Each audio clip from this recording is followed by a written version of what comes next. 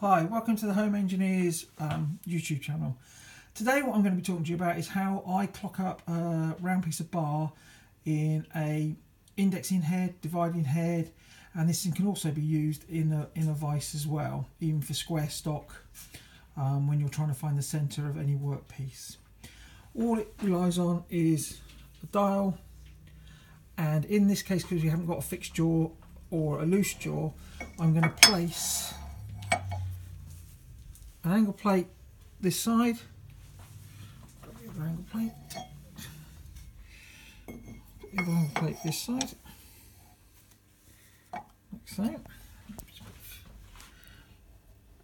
I'm going to place a clamp across the job. Okay. Now, first thing I should have said is the actual dividing head, or the indexing head in this case, has been fitted with dogs, which are these hexagon pieces in the bottom, which then fit into the T slot, which then aligns the um, job true to the axis. In this case, it would be the x-axis. Okay, so now what we do is we're going to bring the clock down, spin it round, but it's got to be above the job because if you look at that, that's going to, if I was to wind that round, that would break the needle off that side, and I'm not touching anywhere near that side. Now that was just lined up by a visual eye, so if I just move it now, what I consider to be half the error, wind it round to the opposite side, so it's still, it's almost touching that side, and more of a gap that side, so go half the error again, so that's roughly where I want it there and there. So what that now means is I can now bring the clock on. So it's it's touching there, touching there. So I can lower the clock now down on the quill. So it's down inside the job. We can then wind it round just to see what the clock is reading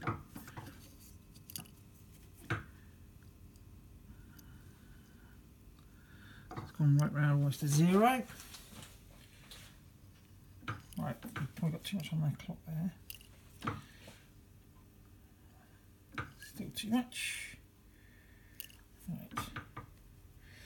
There we go. So right, so that's just touching there.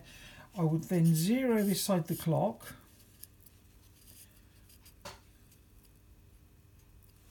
So that is now on zero. And just rock it just to make sure that is the highest point quite. There we go, so that's the highest point there as I rock the clock backwards and forwards.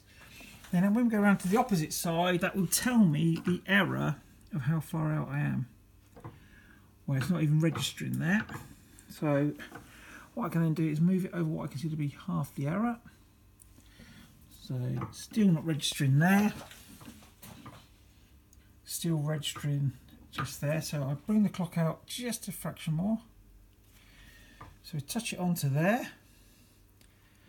So that's now reading approximately zero again. Go round to the opposite side.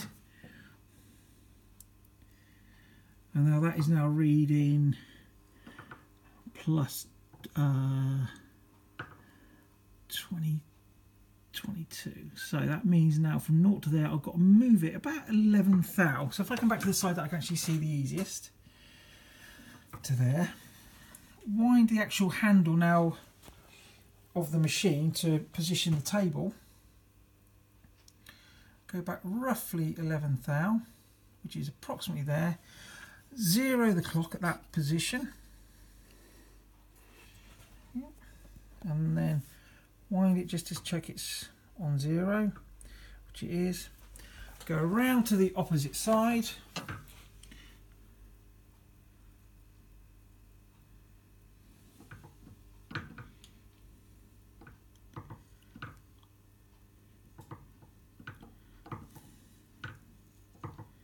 And there we have it. It's, it's about thou out. So we just we will just check that this side.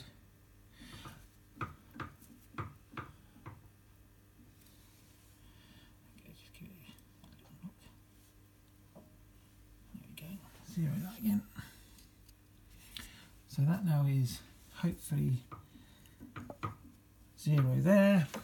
If I've gone the right way, which I hope I have, it should be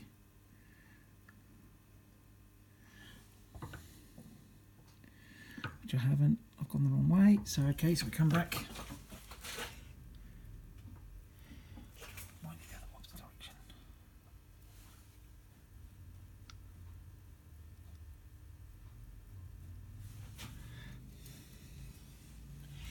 Right, so zero there.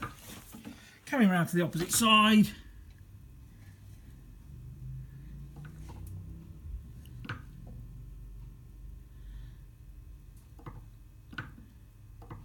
That's zero there now. Okay. So there you have it now. That spindle is exactly over the centre line of that round piece of bar. So I hope you've enjoyed um, this video.